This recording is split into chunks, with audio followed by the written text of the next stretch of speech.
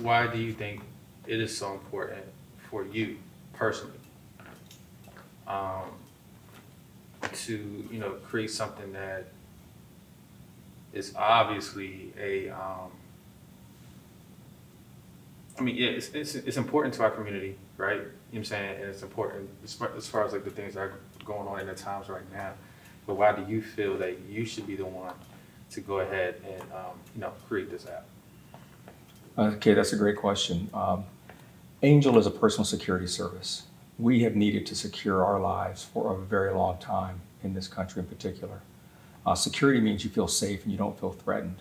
And so we have the technology, we have the, the knowledge, the ingenuity, we have the team, it's the right time to do this. It's, it's been the right time for far too long. And so uh, I felt um, convicted, like I had to do this. I have two sons, and I needed to change the world in which they are going to live and occupy so that I can sleep at night and have peace.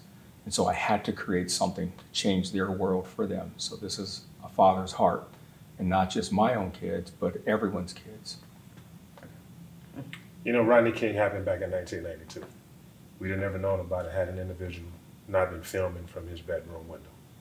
Since then, we've had several incidents that have occurred. And since then, it's always brought to the attention by someone else filming and capturing, and it's always after the fact. What we're seeing is these things happen and take place after the fact.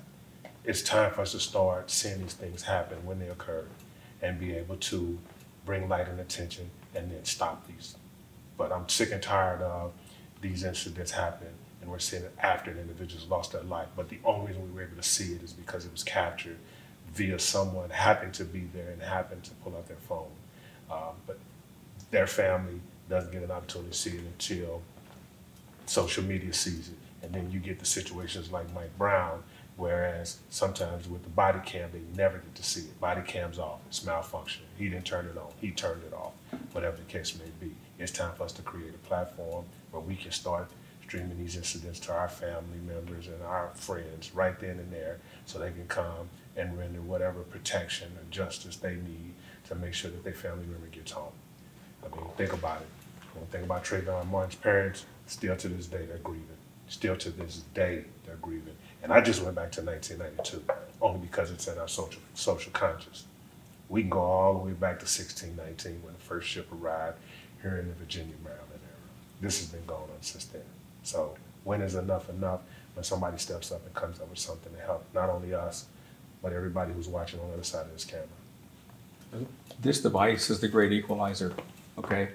The fact that cell phones are so ubiquitous, so global, so present, and they're so powerful and they're networked and connected. Now that we have this device in everyone's hands, we've created technology that goes with this device, that goes with the talk and the knowledge that we have as, as a community and how to stay safe.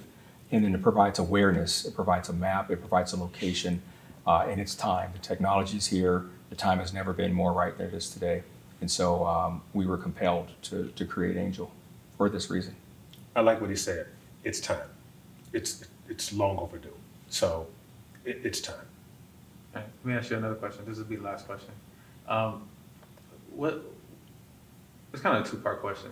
So what's the what's the complexity in trying to um, not just create an app, you know what I'm saying? Because there's so many behind the scenes stuff that you have to do.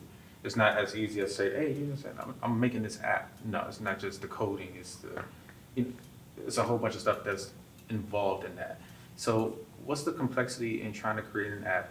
And what's the complexity in trying to create an app that's supposed to change the way that certain groups and organizations are treated. You know what I'm saying? Yes. Okay, so first, it's not about the technology, it's about the people.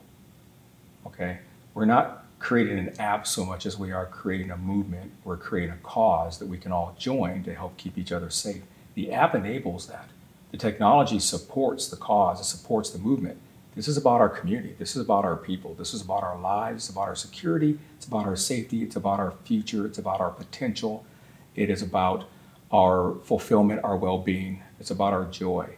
And so that's what we're really creating. We're creating all of those things the opportunity to be fulfilled, the opportunity to be safe, the opportunity to meet our life's milestones, learning how to ride your bike, learning how to drive a car, going to prom, graduating from high school, going to college, or getting your first job, starting your first career, buying a house, meeting the love of your life, having your own family, obtaining the American dream. That's what we're doing. We're creating a vehicle that makes that dream, makes that attainment, that fulfillment uh, more possible than ever by providing a security system that helps keep us safe and keep others accountable who want to harm us or our loved ones. That's what we're creating. So when we focus on that, when we focus on our community and focus on the people that we're there to serve and to help, it's not about us. It's not about the app. It's not about the technology. It's about our community. And the technology enables our community to live, to be free, and to be fulfilled.